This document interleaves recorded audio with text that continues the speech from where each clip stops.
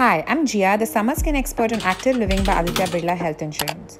I'm here to help you take care of your hair and scalp this summer. Curd has antibacterial properties. Lemons are rich in citric acid, which cleanse your scalp and prevent dandruff. Make a lemon and curd hair mask and keep it in your hair for 30 minutes.